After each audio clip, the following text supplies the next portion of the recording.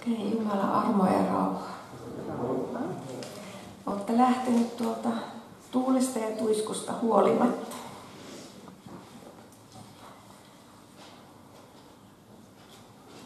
Eli tänään on aiheena tämä henkien erottamisen armolahja. No, kaikki te tiedätte, että Jumalan antamat armolahjat ovat yksin armosta, eivät ansioista. Ne eivät ole ihmisen luonnollisia lahjoja, vaan ne ovat yliluonnollisia. Pyhän hengen jakamia lahjoja, hän jakaa niitä niin kuin hän tahtoo. Yleensä meillä uskovilla on sellaisia lahjayhdistelmiä, ihan sen mukaan, kun pyhä henki on aivoitellut. Ja Jumalalla on sitten myös sellaisia erilaisia hengellisiä virkoja, joita hän myös jakaa, mutta virat sinänsä eivät ole armolahjoja, vaan niissä olevilla on armolahjayhdistelmiä sen mukaan, kun pyhä henki on suunnitellut siinä virassa tarvittavan. Lahjathan on sen mukaan, kun pyhä henki ajattelee, että sinä niitä tarvitset hänen seurakuntansa rakentamiseksi ja rohkaisuksi ja niin edelleen. No armolahjat sinänsä ne ovat moninaisia, mutta henki on sama. Me kaikki tietää, että koko meidän elämämme on armoa ja lahjaa, mutta se ei ole kuitenkaan armolahjaa sen varsinaisessa merkityksessä. Ja tänään minua on pyydetty käsittelemään tätä henkien erottamisen armolahjaa. Minä en ole tuota armoitukseltani mikään opettaja, mutta, mutta koitan nyt jotenkin tästä selvitä. No, tämä henkien erottamisen armolahja, se kuuluu niin sanottuihin kuninkaallisen voitelun lahjoihin yhdessä viisauden ja tiedon sanojen kanssa. On siis kyse kuninkaallisesta voitelusta. Nämä kaikki kolme ovat ilmestyksen lahjoja. Välillä näissä kolmessa ne ovat niin lähellä toisiaan, että niitä on vaikea erottaa toisistaan. Eikä se oikeastaan ole mielestäni tarpeenkaan, kunhan Jeesus-nimi tulee ylistetyksi ja Jumala saa kaiken kunnian. No, tämä henkien erottaminen on siis niin sanotun kuninkaallisen voitelun lahja. Sen avulla ihminen saa yliluonnollisen kyvyn nähdä henkien salattuun maailmaan. Se mitä sinä näet, niin sinä et niin kuin itsestäsi näe, vaan pyhä henki näyttää sinulle. Se on siis yliluonnollinen lahja. No mitä hengellä tässä tarkoitetaan? Sillä ymmärretään Jumalan henkeä, eli pyhää henkeä, mutta myös ihmisessä olevaa elämän henkeä, ja sitten vielä pahaa henkeä ja niiden, näiden henkien erottamista toisistaan. Henkien erottaminen tarkoittaa tiedossa olevan hyvän, eli Jumalan hengen, sitten luonnollisen ihmisen oman hengen ja pahan hengen erottamista. On huomattava, että henget, joita henkien erottamisen kautta on tarkoitus paljastaa, ovat niitä, jotka osoittavat olemassaolonsa ottamalla valtaansa yliluonnollisella tavalla sen ihmisen mielen jäsenet tai koko kehon asteittain. Ja pyhä henki paljastaa tämän lahjan kantajalle ja ohjaa vapauttamaan henkilön tai miten muuten siinä tilanteessa toimitaan. Aina ei pysty vapauttamaan sitä ihmistä. Efesolaiskirje 6 ja 12, siellä sanotaan, emmehän me taistele verta ja lihaa vastaan, vaan hallituksia ja henkivaltoja vastaan. Tässä pimeydessä hallitsevia maailman valtiaita ja taivaan avaruuden pahoja henkiolentoja vastaan. Eli tämä on niin kuin henkien, ei ihmisiä vastaan, vaan pahoja henkiä vastaan. Ja tietenkin on asioita, jotka tulee ihmisestä itsestään, meidän luonnollisesta ihmisestä, mutta nekään ei ole sitä, mitä pyhä henki haluaa meidän julistavan monestikaan. Pahat henget eli demonit, ne ilmaisevat itsensä myös ihmisen kautta. Myös paha henki voi puhua myös sinun henkeesi, mutta myös ihmisten kautta. No, miten riivattu toimii tai puhuu, se kertoo siitä hengen olemuksesta. Ja demonihengen on, tai henkien on aina tarkoitus saattaa uhrinsa ikuiseen eroon Jumalasta. No pyhä henki, niin kuin me tiedetään, hänkin voi ilmaista itsensä ihmisen kautta, mutta hän voi puhua ja puhuu myös suoraan meidän hengellemme. Me olemme pyhän hengen temppeleitä, jossa hän asuu, toimii, puhuu ja vaikuttaa, pelastaakseen sieluja iankaikkiseen elämään. Kyseessä on siis elämä ja kuolema, ja siksi taistelu on kovaa. No, tämä henkien erottamisen lahja, niin se on monestikin jotenkin ollut sotkussa. Sitten on hyvin tärkeää tietää, mitä henkien erottaminen ei sitten ole. No sillä ei tietenkään ole mitään tekemistä okkultismin, spiritismin, tarotkorttien tai muiden tämmöisten vainajahenkien manajien kanssa, jonkin korteista ennustamisen tai kristallipallojen kanssa. Muistatte ensimmäisen Samuelin kirjassa luussa 28 on kertomus kuningas Saulista, kun pyhä henki oli lähtenyt hänestä ja hänellä oli hätä, miten sodassa käy filistealaisia vastaan, niin hän pyysi Herralta apua, mutta Herra kun oli poistunut, niin hän ei vastannut. Ja niinpä tämä sai päähänsä lähteä sitten tämä Saulin vainajahenkien manajalta kysymään apua. Ja mm, vaatetti itsensä niin kuin valepukuun niin, että toi nainen, sillä hän oli naishenkilö, ettei hän tunnistaisi kuningas Saulia. Ja hän pyysi, että vainajahenkistä nimenomaan profeetta Samuel ilmestyisi hänelle ja neuvoisi, mitä hänen pitäisi tehdä. No siinä nainen ei alkuun tuntenut Saulia, mutta kun tämä vainajahenkien tämä manaushenki hänet valtasi, hän tunnisti Saulin ja sai sitten tämän Samuel profeetan sinne esiin. Ja, ja niin kuin mun ystävä yksi sanoi, niin häntä aina niin kuin puhuttelee siinä, kun tämä profeetta Samuel sanoi, että miksi sä tulit häiritsemään minua. Ja Samuelhan sitten sanoi, että, että sinä päivänä sä poikasi kanssa kuolet ja, ja se maan kuninkaaksi tulee kuningas David. Mutta meitä ei ketään niin kuin neuvota ottamaan yhteyttä näihin manaajiin tai olemaan missään tekemisissä okkultismin kanssa. Henkien erottamisella ei ole mitään tekemistä näiden kanssa. Se ei myöskään tämä henkien erottaminen ole normaalia oman tunnon toimintaa. Jos sä oot yhteydessä Jumalan kanssa, luet raamattua, niin sun hengelliset aistisi harjaantuvat erottuvaan hyvän pahasta. Ja me alamme arvioida sitten kaikkea Jumalan sanan mukaisesti. Esimerkiksi jos nyt mä puhun tässä jotakin niin kuin Jumalan sanan vastaisesti, ja sä oot lukenut raamattua, niin sä oot jo harjaantunut erottamaan, mikä on, miten Jumalan sanassa sanotaan ja miten sitten ehkä minä sanon väärin. Se, sillä ei ole mitään tekemistä henkien erottamisen kanssa. Hebrealaiskirje 5.14 sanoo, Vahva ruoka on taas täysi-ikäisille, niille joiden aistit ovat tottumuksesta harjantuneet erottamaan hyvän ja pahan, Tämä ei ole siis tätä käsiteltävää lahjaa, vaan sinä tiedät raamattua lukeneena, miten se oikeasti se sana raamatussa menee. Siihen ei tarvita mitään yliluonnollista. No henkien erottamisen armolahja ei ole tuomitsemista tai arvostelemista tai syyttämistä, vaikka ihmisessä vaikuttava henki olisikin riivaaja, ei meillä ole oikeutta tuomita tai syyttää häntä. Ei edes siitä, että hän on ollut joskus elämässä ja tekemisissä okkultismin kanssa tai langennut vaikka siihen, niin meillä ei ole mitään oikeutta tuomita häntä siitä, vaan auttaa häntä eteenpäin on meidän tehtävä.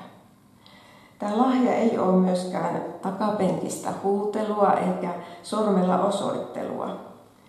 Se ei ole luontaisten vajavuuksien tai vikojen erottelua. Eikä se ole kenenkään ajatusten lukemistakaan. Lahja ei anna diagnooseja kenenkään luonteen piirteistä tai ajatuksista. No sitten Jeremian kirjassa 28 nähdään, miten tämä henkien erottamisen armolahja toimii Jeremialla. Siinähän puhutaan tästä väärästä profeetta Hananiasta, joka äh, kansaa miellyttääkseen niin profeetoi kansalle, että kyllä te joudutte pakkosiirtolaisuuteen, mutta sitten kahden vuoden päästä pääsette jo pois. No alkuun tämä Jeremia sanoi, että tuolla 28 ja 9, että profeetta, joka profeetoi rauhaa, tunnetaan Herran lähettämäksi profeetaksi siitä, että hänen sanansa toteutuvat. Mutta sitten Jeremialla alkaa tämä lahja toimia, kun tämä Hanania oli särkenyt sen ikeen, jonka hän oli niin kuin tämän Paali, tai Paapelin kuninkaan ikeen asemasta niin kuin tavallaan vertauskuvaksi tuonut siihen esittääkseen, että näin se Paapelin kuninkaan ies särkyy. Niin sitten Jeremialle tuleekin Herran sana tuolla jäi 13. Mene ja sano Hanajalle, näin sanoo Herra, puisen ikeen sinä olet särkenyt, mutta tehnyt sen sijaan rautaisen. Sillä näin sanoo Herra Seepaut, Israelin Jumala, minä olen pannut rautaisen ikeen kaikkien näiden kansojen niskaan, jotta ne palvelisivat Nebukat Neessaria Paapelin kuningasta, ja ne palvelevatkin häntä. Myös villieläimet minä olen antanut hänen valtaansa. Profeetta Jeremia sanoi vielä profeetta Hananjalle, kuule Hananja, ei Herra ole sinua lähettänyt, vaan sinä olet saanut tämän kansan turvaamaan valheeseen. Sen tähden näin sanoo Herra, katso minä poistan sinut maan päältä, tänä vuonna sinä kuolet, sinä sinä olet julistanut luopumusta Herrasta. Alkuun tuntui, kun tätä luki, että, että Jeremiastakin se kuulosti hyvältä, että vaan kaksi vuotta, mutta oikeasti hän oli siellä 70 vuotta siellä siellä Paapelin pakkosiirtolaisuudessa. Ja sitten Herra hänelle valaisi, että tämä on niin kuin, tässä on valheen henki, että se julistaa luopumusta Herrasta ja hän oikaisi sitten Hananiaa.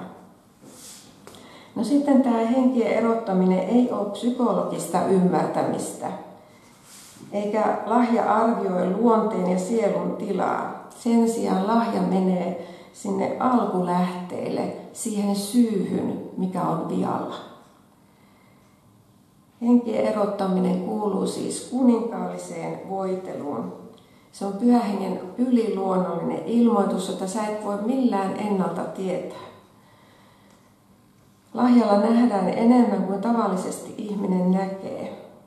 Lahjan avulla nähdään, minkä hengen vaikutuksesta niin kun ihminen toimii, koska henget tulevat kyllä ilmaisemaan itsensä. No jo aiemmin mainitsin noin kolme henkeä, eli hyvä henki eli pyhä henki, sitten väärä luonnollinen henki. Tästä kertoo esimerkiksi Luukas luvussa 9, miten opetuslapsia ja Jeesusta ei otettu erässä Samarian kylässä vastaan. Silloin opetuslapsista Jaakob ja Johannes huomasivat sen ja he sanoivat, Herra, tahdotko, että käskemme tulen langeta alas taivaasta ja tuhota heidät? Mutta Jeesus kääntyi ja nuhteli heitä, sillä Luukas 9.55 ja sanoi, te ette tiedä, minkä hengen omia te olette. Jeesus jatkaa, ihmisen poika ei ole tullut ihmisen sieluja hukuttamaan, vaan pelastamaan. Eihän se kovin kristilliseltä muutenkaan kuulostaisi, että poltetaanko tämä kylä, kun ei ottanut meitä vastaan. Vai mitä? Mutta, mutta ne oli innokkaita. Ne oli omalla tavallaan hyvin äkkipikaisia miehiä. Ja sitten on pyhä henki. Tai siis paha henki. Tuolla oli pyhä henki, ihmisen henki ja vielä paha henki. Siitä kertoo esimerkiksi Markus 5, siellä kerrotaan, miten Jeesusta vastaan tulee mies, jolla oli saastainen henki. hän niin kuin heti ilmasi, että Jeesus Kristus on Herra, mitä sinulla on minut kanssani tekemistä. Sitten, kuten me tiedetään, niin puhuttaessa pahoista hengistä on uskovaistenkin keskellä havaittavissa, että osa kieltää niiden olemassaolon ja osa saattaa kiinnostua niistä ihan silleen epäterveellisen paljon, niin että he näkee joka paikassa henkiä. Se on vähän aika lähellä sitten hindulaisuutta, jossa kaikki on Jumalaa. Kaikki on Jumalia. No me kaikki tiedetään, että ihminen on kokonaisuus. Hän on sielu, henki ja ruumis. Meidän henkemme on se osa, jolla me voidaan olla yhteydessä Jumalaan, koska Jumala on henki. Ja on myös meidän muistettava, että Jumala on henki. Meidän sielumme on esteenä. Ja siksi puhutaankin, että meidän pitää voittaa sieluja eikä voittaa henkiä. Tuolla ensimmäinen korottolaiskirje 15, 45, 46 sanoo, onhan kirjoitettu, ensimmäisestä ihmisestä Aadamista tuli elävä sielu, viimeisestä Aadamista tuli eläväksi tekevä henki. Ensimmäinen ei siis ollut hengellinen, vaan sielullinen, vasta sitten tulee hengellinen. Sinutkin on kutsuttu sielujen voittajaksi, ei henkien voittajaksi. Meidät kaikki on kyllä kutsuttu vapauttamaan pahoista hengistä, mutta se on sitten eri asia. Raamattu sanoo meistä kaikista, että olemme tehneet syntiä ja Jumalan kirkkautta vailla. No kun me tullaan uskoon, Jumalan kirkkaus tulee meidän sydämiimme hengen ympärileikkauksen kautta. Me siirrymme pimeydestä valkeuteen. Tulemme osaksi Kristusta, jossa elämme ja liikumme ja olemme. Me täytymme myös hänen hengellään. Roomalaiskirje 8 ja 5 sanoo, että niillä, jotka elävät lihan mukaan, on lihan mieli, mutta niille, jotka elävät hengen mukaan, on hengen mieli. No, me kaikki tiedämme, että tämä kuulostaa todella hienolta. Meissä kaikissa kuitenkin asuu se vanha aatu. Ja meillä kaikilla on välillä aika kova taistelu, saako vanha aatu voiton, vaan se uusi.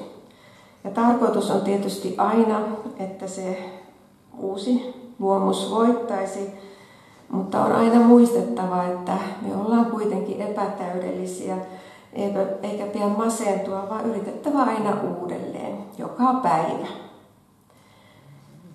Ja on muistettava myös tästä henkien erottamisen armolahjasta, että ei pyhä henki ole sitä antanut yli-ihmisille, ei superhyville tai onnistuneille, vaan se on pyhä henki antanut hyvin epätäydellisille ihmisille, jotka myös erehtyvät ja lankeavat mutta saavat syntinsä anteeksi Jeesuksen veren tähden. Sanoohan raamattu, että minun edessäni hän seisoo tai kaatuu. Ja niinhän me tehdään. No meillä kaikilla on siis myös sielu. Olemme sielullisia. Luonnollinen ihminen elää isillä perityissä synneissä, on synnin orja ja on siis liitossa sielun vihollisen kanssa ja hänen orjansa ihan tietämättään. Mutta jos ihminen pyytää syntinsä anteeksi Jeesuksen ristintyön tähden ja antaa itsensä Jeesukselle, ihmisestä tulee osa häntä. Siksi sielu täytyy voittaa Kristukselle, jotta pyhä henki saisi sijaa ja vallan ihmisessä. Tuolla Efesolaiskirjeessä sanotaan myös tästä asiasta. Efesolaiskirje 2, ensimmäiset kolme jaetta. Jumala on eläväksi tehnyt teidät, jotka olitte kuolleet rikkomuksiinne ja synteihinne. Niissä te ennen vaelsitte tämän maailman menon mukaan, ilmavallan hallitsijan tahdon mukaan, sen hengen, joka nyt vaikuttaa tottelemattomuuden lapsissa – Eli ollaan, ollaan oltu ihan tietämättömmekin myös tämän sieluvihollisen orjia. Heidän joukossaan mekin kaikki ennen elimme lihamme himoissa tyydyttäen lihan ja mielen haluja ja olemme luonnostamme vihan lapsia niin kuin muutkin. Eikä en puhunut omiani, näin Raamattu sanoo. Mutta sitten Raamattu sanoo myös tuolla Matteus 10.28. Älkää pelätkö niitä, jotka tappavat ruumiin, mutta eivät voi tappaa sielua. Pelätkää enemmän häntä, joka voi sekä sielun että ruumiin hukuttaa helvettiin. Eli Jumala yksin tulee pelätä. Jumala yksin voi sekä sielun ja ruumiin hukuttaa helvettiin. Häntä tulee pelätä ja häntä kunnioittaa, hänen sanansa kunnioittaa. No, niin kuin me kaikki varmaan tiedetään, niin pahat henget hyvin mielellään pysyttelevät piilossa. Muutenhan ne eivät saisi oikeastaan valtaa ihmisissä, jos ne olisi niin kuin aina näkösällä, vaan koska ne ovat hyvin viisaita ja ne ovat kaikkeen niin kuin demonien, demonihan, demonit ja paha henkihan on niin kuin valheen isän lapsia tai jälkeläisiä heitä itseään, niin hän viekoittelevat ihmisen monesti salaa ja asuvat piilossa niissä ihmisissä. Ne väärät henget, ne voivat pukeutua jopa valkeuden enkeliksi. Siksi on hyvin tärkeää tietää, mitä Raamattu sanoo. Tuolla ensimmäinen Johanneksen kirje, joku neljä, ensimmäiset neljä jaetta – Rakkaani, älkää jokaista henkeä uskoko, vain koetelkaa henget, ovatko ne Jumalasta, sillä monta väärää profeettaa on lähtenyt maailmaan. Tästä te tunnette Jumalan hengen. Jokainen henki, joka tunnustaa Jeesuksen Kristukseksi, lihaan tulleeksi, on Jumalasta. Ja yksikin henki, joka ei tunnusta Jeesusta, ei ole Jumalasta. Se on antikristuksen henki, jonka olette kuulleet olevan tulossa, ja se on jo nyt maailmassa. Lapsukaiset, te olette Jumalasta ja olette voittaneet heidät, sillä hän, joka teissä on, on suurempi kuin se, joka on maailmassa. Siksi meillä ei ole mitään pelättävää. Muistan joku lähetyssaarnaajan ollen nukkumassa ja sitten sieluvihollisen ilmestyneen sen huoneen pimeään nurkkaan, kun oli yö. Ja sieltä sitten alkaneen möristä ja sitten se lähetyssaarnaaja heräsi ja katsoi, että Aiso on tuolla nurkassa, niin oli sanonut vaan, että Aiso on sinä ja kääntänyt kylkeä. Koska meissä asuva pyhä henki on paljon suurempi kuin paha henki, joka yrittää pelotella meitä kaikkia. No, nämä pahat henget voivat olla eri hahmoissa – voi näkyä käärmeen, skorpionin, eläimen pää ja ihmisen ruumis. Ja sitten eri, eri uskonnella on vähän erityyppisiä henkiä. Kun hindulaisuudesta puhutaan, niin mulle tulee aina mieleen semmoinen niljakas lisko tai käärme. Tai sitten islamista, jos puhutaan, niin oikein kova kivi, kova kuin kivi. No, nämä pahat henget voivat tulla esiin erilaisina liikkeinä, kouristuksina tai sopimattomina ääninä. Yhtäkkiä nainen puhuukin miehen äänellä. Niillä on hyvin erilaisia niin kuin ilmenemismuotoja. Ja sitten ihmiset, joissa on piilossa nämä henget, ne saattavat elää ihan päällisin puolin aivan normaali elämää, kunnes he tapaavat voitelussa kulkevan Jumalan ihmisen. Tällöin nuo ihmisessä olevat demonit paljastavat itsensä. Jeesuksen elämässähän näitä oli monia, niin kuin tuossa alkuun olikin, että se tuli se saastaisten henkien vaivaama mies Jeesusta vastaan ja huusi heti, että mitä sulla on tekemistä minun kanssani. Eli ilmaisi heti, että Jeesus on Jumalan poika. Mutta muille ihmisille saattoi olla ihan hiljaa. Tuolla Luukas 4 40 ja 41 sanotaan myös Jeesuksesta. Auringon laskiessa kaikki erilaisten tautien vaivaamat sairaat tuotiin Jeesuksen luo. Hän pani kätensä jokaisen päälle ja paransi heidät. Monista lähti myös riivaajia, jotka huusivat, sinä olet Jumalan poika. Mutta hän nuhteli niitä eikä sallinut niiden puhua, koska ne tiesivät, että hän oli Kristus. Eli Jeesuksen elämässä hyvin usein just ne ilmas itsensä kaikkialla siellä, missä Jumalan poika voideltu kulki. No apostolien teot 16 ja siellä myös jäi 16 ja kertoo Paavalista ja Siilasta, jotka olivat menossa rukouspaikkaan. Ja heitä vastaan tuli orja tyttö, jossa oli tietäjä henki. Ja muistaakseni se oli ää, mm, pneumonia tai no, en sano väärin, joka tapauksessa käärmeen henki. Pyytton on se. Pneumopyytton, muistaakseni on niin kuin latinaksi tämä henki. Ja tämä tyttö, siinä oli se tietäjähenki, joka ennustamisellaan hankki sille isännälleen runsaasti tuloja. Hän oli siis orja henki.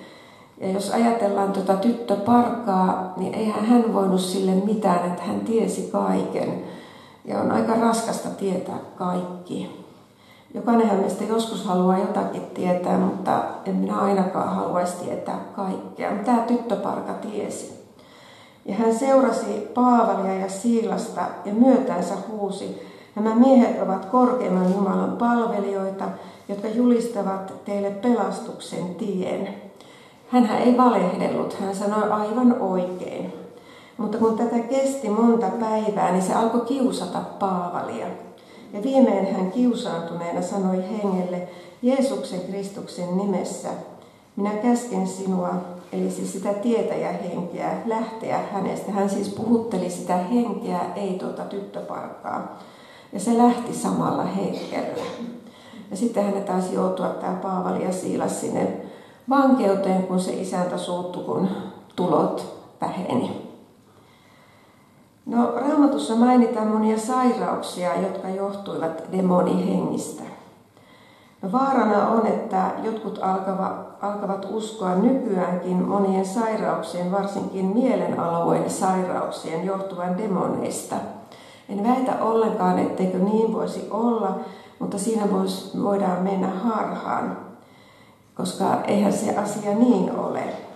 Ihminen voi alkaa kuulla ääniä johtuen masennuksesta, skitsofreniasta, jostakin muusta mielen alueen äh, sairaudesta tai vaikka aivokuori alkaa tiputtaa verta sinne aivojen päälle, niin ihminen saattaa kuulla ääniä ja sinne mitään tekemistä demonien kanssa. Siksi tarvitaan erityistä henkien erottamisen armolahjaa myös näillä alueilla. No Malesiassa tapasin, olisiko 2009 tai 2010, yhden muslimin miehen, joka kertoi, että hän oli saanut kilpirauhaskasvaimen erään noidan kirottua hänet. No, kuten on joskus kertonutkin täällä, niin melkein 90 prosenttia muslimeista, ainakin Malesiassa, niin ne harrastaa näitä pahoja henkiä, mustaa makia ynnä kaikkea semmoista pahojen henkien palvontaa se on erittäin yleistä ja ne tekee näitä kaikenlaisia myrkkyjä ja myrkyttävät ihmisiä ja myös kiroavat niillä myrkyillä ja loitsuillaan. Ja niin tämä mies myös uskoi saaneensa sen kirouksen jälkeen alkoi hänellä kasvaa tähän kaulan alle se kilpirauhas kasvain. Ja niinpä tuo mies ei ollut saanut nukuttua kymmenen vuoteen, kun istuallaan koska tuo tuumori painoi hengitystä ja aiheutti koko ajan kipua. Ja me oltiin siellä Malaji-kylällä tiiminä liikkeellä ja eräs kokenut muslimien parissa, parissa työskennellyt pastori meni ensin sen miehen luokse, sanoi meille, että älkää koskeko vielä tuohon mieheen. Hän ajoi ulos sen hengen ja sitten me saimme laittaa kätemme tuon sairaan päälle ja kipu lähti hänestä, kun laitettiin kätemme ton kasvaimen päälle ja rukoiltiin. Ja sen jälkeen hän on pystynyt ja pystyy nukkumaan ihan norma, normi pitkällään. Mutta Jeesusta hän ei vastaan ottanut vaimonsa pelosta ja vaimonsa suvun pelosta. Ja se on todella ikävä asia, todella harmillista, koska niin kuin Raamattu sanoi, että jos se ihmisen sisäinen huone saadaan puhdistettua riivaajista, henkivalloista, eikä sitä meidän henkeämme täytä Jeesuksen pyhä henki, voi sitten ihmisen tulevat päivät olla entistä pahempia, kun paha henki huomaa sen huoneen lakaistuksi ja siistityksi. Ja niin kuin Raamattu sanoi, että sitten voi tulla nämä pahat henget, riivaajat, seitsemänkertaisesti pahempina takaisin. Ja muistatte malesialaisen pastorin Ruuttanin, joka kävi täällä, piti oikein tulisen saarnan. Hän on sieltä pahat pahurista äh, Etelä-Malesiasta ja kun hän oli yhdeksänvuotias, niin hänen äitinsä vei hänet, kun Ruut oli sairastunut, olisiko joku flunssa tai vastaava ollut, niin noita tohtorille. Muistaakseni korvat oli kipeät. Ja siltä reissulta sitten tämmöinen riiva ja henki tarttui tähän Ruuttiin. Ruut ei sitä itse oikeastaan ymmärtänyt, mutta sitten myöhemmin, kun hän tuli tekemisiin Jeesuksen kanssa, tuli herätykseen, niin hänen uskon tulonsa oli erittäin kova ääninen, kun tuo henki, tuo riiva ja henki tuli ulos ruutista. Hän on itse kertonut tämän. No miten sitten tämä henkien erottamisen lahja toimii? No sisäinen kello alkaa soida. Tulee levottomuutta. On itse kokenut sen muutamia kertoja. Yhtäkkiä vailla mitään syytä, jossain kokouksessa on istunut. Tarkoitan, että millään lailla itse ole levoton. En tule levottomas mistään ulkopuolisesta tai sisäisestä asiasta, vaan yhtäkkiä tunnen suurta levottomuutta.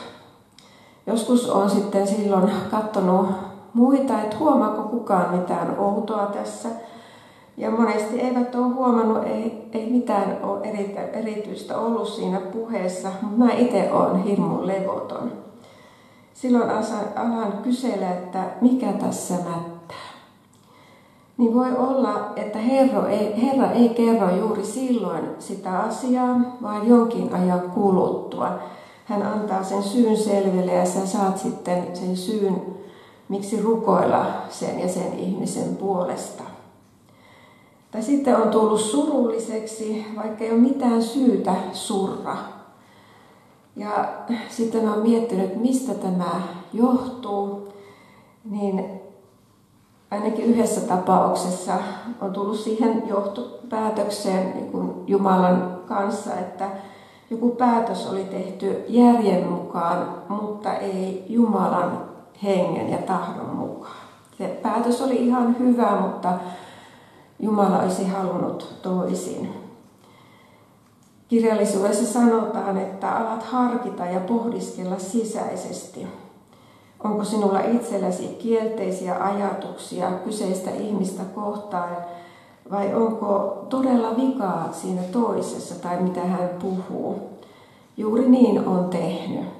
Koska me ollaan ihmisiä erehtyviä, niin aina ainakin itse katon itteeni, että minkälaisia ajatuksia minulla itselläni mahtaa olla. No sitten asiasta tulee sellainen jumalallinen varmuus. Pyhä henki paljastaa tai näyttää ilmestyksessä kyseisen hengen. No vuosia sitten oltiin Sri Lankassa ja oltiin semmoisessa iltakokouksessa. Muu tiimi oli jo lähtenyt ja minulla ja Heikillä oli vasta seuraavana päivänä se lento ja, ja tota, me jäätiin sitten siihen iltakokoukseen ja olin siellä puhumassa ja sitten se pastori vaimo tuo sellaisen nuoren miehen siihen rukoiltavaksi ja mä alan sitten rukoilla ja mä yhtäkkiä näen sen miehen pään päällä semmoisen, olisiko joku noin viisi senttiä, viiden sentin kokoinen punaisiin vaatteisiin pukeutunut pikkuukko, joka hyppi siinä sen miehen pään ympärillä ja ilvehti.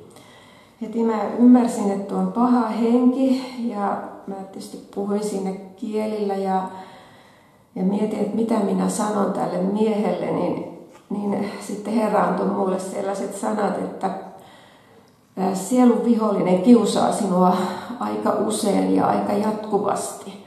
Mutta kun hän tulee sun päälle ja alkaa syöttää valheitaan, niin sano Jeesuksen Kristuksen nimessä häivy, koska sillä ei ole mitään valtaa sinuun. No sitten oltiin siitä eteenpäin useampien vuosien päästä Naakalandissa, Intiassa. Eri tiimin kanssa olin siellä hammasklinikkaa pitämässä. Niin sitten siellä oli semmoinen, ja on vieläkin eräs lähetystyöntekijä, intialainen, niin tota, sitten hän oli myös tämmöinen aamuvirkku, niin kuin minäkin ja kaikki muut vielä nukkuvat, niin menin aika aikaisin sinne juomaan teetä sinne keittiöön ja niin tuli myös tämä pastori. Hän sanoi heräävänsä aina aamulla neljän viiden maissa rukoilemaan. Ja niin me kahdestaan oltiin siellä keittiössä ja yhtäkkiä tämä, äh, niin kuin meidän puheet alkaa kääntyä näihin henkiin ja ja tuota, tämä alkaa kertoa semmoisesta riivatusta sillä alueella Naakalandissa, missä hänkin on, tekee työtä. Et siellä oli semmoinen riivattu mies, joka puolesta oli rukoiltu ja käsketty sitä, niitä henkiä lähteä pois, mutta ne ei ollut suostuneet lähtemään. Ja tämä mies oli niin raju otteissaan, että hänet oli sidottu sänkyyn monella köydellä ja silti hän tempoi siellä hän oli kohtuullisen rauhassa, mutta sitten kun hän näki, että tämä lähetystyöntekijä tulee siihen huoneeseen, alkoi hirveästi huudella ja tempoa ja yritti irrottautua niistä kahleista, koska kun ihminen on riivattu, niin riivailla on valtavat voimat. Ja sitten tämä mies yritti sylkeä tämän pastorin lähetystyöntekijän päälle ja tämä mies sanoi, että eihän hän pelännyt sitä sylkemistä ne henget luuli, että, että kun sylkee, niin sit se ei uskalla tulla lähelle. Ja heti kun tämä tuli tämä lähetystyöntekijä siihen huoneeseen, niin hän näki viisi juuri samanlaista viiden sentin kokosta pikkuukkoa ilvehtimässä ja hyppimässä sen miehen pään päällä. Eli tällä oli viisi riivaa ja jos sillä yhdellä oli se yksi, joka kiusasi, joka oli kuitenkin uskossa se mies. Mutta tota, tämä tämä toinen henkilö, niin hän ei ollut uskovainen, hän oli siis vielä riivattu. Kiusaamisella ja riivattuna olemisella on huima ero. Niin tota, tämä käski ei välittänyt niistä mitään. Jeesuksen nimessä kaikki henget ulos ja tämä mies vapautui. Sitten siellä samalla reissulla siellä siellä Naagalandissa niin oli yksi kokous toisessa paikassa ja, ja tota, sielläkin tota, olin puhumassa ja sitten äh, siinä oli ihmisiä, jotka halusi rukousta, niin tuli semmoinen vanhempi nainen, jolla oli vaikka minkä näköisiä fyysisiä oireita, mutta hänkin on uskovainen ja oli uskovainen. Mutta mä aloin sitten rukoilla kielillä hänen puolestaan, koska meillä ei ollut yhteistä kieltä. Ja joku hänen tuttava nuori tyttö sitten oli siinä tulkkina. Ja yhtäkkiä sitten kun mä rukoilin tämän pienen mummon puolesta, niin hänen suustaan tuli esille valtavan suuri kieli. Siis aivan hirveän iso kieli. Mä en ole nähnyt kellään niin kauhean iso kieltä. Edes lehmän kieli on niin iso, ja mä ymmärsin, että tämä ihminen puhuu sellaisia asioita, mitä hän ei pitäisi puhua. Juorua ja, ja kaikenlaista semmoisia pahoja juttuja. Ja siksi hänessä on aika paljon vaivoja. Ja siksi mä aloin sitten rukoilla ja, ja, tota, ja en muista miten se kaikki meni, mutta ymmärsin, että niistä kielen synneistä aika paljon johtui sen pikkumumman vaivat. Siis henki paljastaa ja miten se meitä vaivaa, riivaa tai muuten kiusaa itsensä. Ja sitten kun se on paljastettu, niin pyhähenken ohjauksessa sitten se ajataan ulos tai sitten siitä asiasta henki, henki saattaa ilmoittaa myöhemmin ja sitten ehkä sä saat ajaa sen hengen ulos tai keskustella sen ihmisen kanssa myöhemmin. No sitten luin jostakin, että joku, jolla oli tämä lahja, oli tullut levottomaksi puhujan puhuessa. Ja yhtäkkiä hän oli nähnyt, miten puhujan pää ikään kuin oli tyhjä. Hän pystyi näkemään sen pään läpi. Ja, ja pyhähenki oli paljastunut, millä elämän alueella puhuja oli tehnyt ja teki väärin. No mitä silloin tuli tehdä?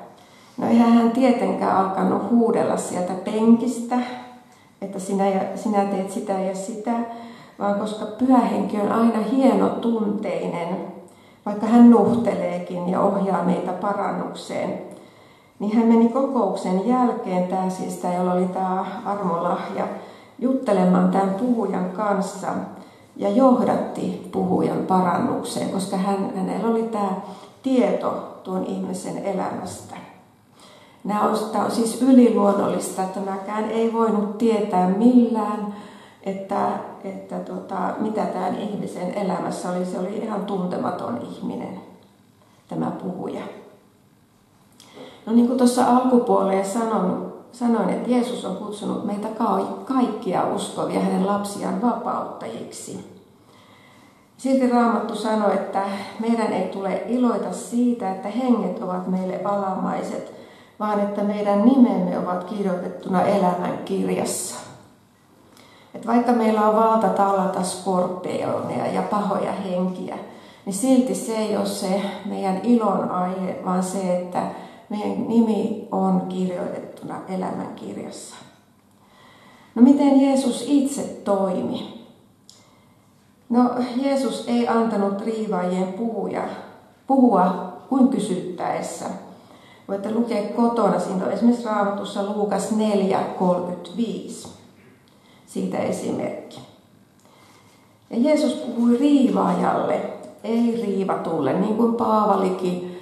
Hän ajoi sen tietäjähengen pois siitä tytöstä, käski sitä henkeä lähteä, eikä puhunut sille tytölle. Siitä on, tästä on esimerkki Markus 9.35, miten Jeesus toimi. Ja sitten Jeesus kysyi kätkeytymistä yrittävän hengen nimen. Muistatte Luukas 8.30 leegio, niitähän oli monta. Eli sitten sen sikalauman, ne halusi mennä niihin sikoihin, jotka hukuttautuivat sitten sinne järveen. Eli nimenkin voi kysyä, vaikkei antaisi muuten puhua. Jeesus heti tiesi, että niitä on monta, kun niitä on leegio. Ja sitten Jeesus kiesi riivaajaa palaamasta. Älä enää häneen mene. Markus 9.35. Jeesus kunnioitti aina riivatun persoonaa. Jeesus vältti kaikenlaista kohua ja halusi ottaa huomioon paikan ja läsnäolijat. Kyse ei ole siis mistään näytännöstä, Pyhä henki on aina hienotunteinen. Ja koska hän ei halua, että ihmistä häväistä, että hän tulee häväistyksi. Meidän tehtävää ei ole syyttää tai tuomita riivattua, vaan auttaa häntä vapauteen. Siksi vaikka olisitkin levoton, levoton tai tulisit yhtäkkiä surulliseksi, älä huutele kesken puheen. Käy mieluummin juttelemaan jälkikäteen, Kysy aina ohjeita niin kehottaa. Muista, koska meillä kaikki ollaan, vaikka olisikin niin erehtyviä ihmisiä. Ja on aina syytä olla hienotunteinen. No, on muistettava myös, että jolla on tämä lahja, niin se toimii myös muuallakin kuin kokoustilanteissa. Yhteen aikaan mulla oli paljon muslimipotilaita, ja heti tiesin, kun ne tuli siihen minun potilaaksi, kuka heistä oli oikea, oikein tiukka muslimi ja kuka oli nimimuslimi. Ilman, että mitään hengellistä edes puhuttiin, vaan se heti se henki ilmasi sen siitä ihmisestä sen kovuuden, Ja tämä on niin tosiaankin Korani-ihmisiä. Ja sitten taas toiset oli silleen niin kuin nimi muslimeita. Ja sitten niin kuin tämäkin, joka oli tämä oikein kova muslimi, niin, niin jälkikäteen joku selitti, että niistä ja niistä on se, se. Minusta joo, kyllä tiedän. Eikä ollut jutellut hänen kanssaan muuta kuin ammattiasioita. Muistan, kun meillä oli kerran paljon häitä ja, ja tuota, sitten oliko yhdeksästä kahteen, niin mun hoitajakin sanoi, että kauhean mitä rankka ja kova päivä. Että hänestäkin oli hengellisesti hirmu raskasta. Siksi mä pidänkin mus, muslim- ja islamin henkeä semmoisena kovana kuin kivi.